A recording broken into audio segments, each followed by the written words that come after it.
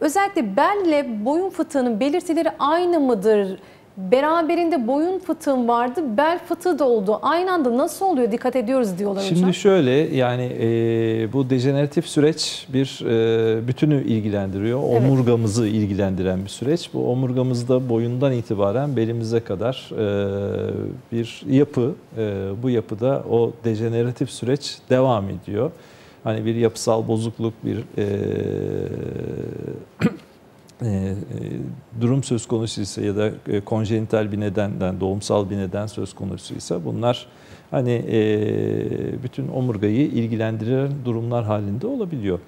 E, buna bağlı olarak da tabii hani her bir bardağın e, dolması gibi bazı yerlerde bardak taşabiliyor. E, işte o taşan yerlerde fıtıklaşmaları görüyoruz. Bu dejeneratif süreç içerisinde bahsettiğim.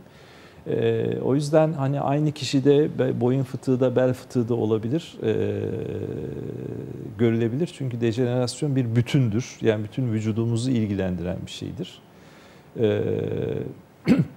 O yüzden de hani hem belde hem boyunda fıtıklar e, aynı kişide görülebiliyor.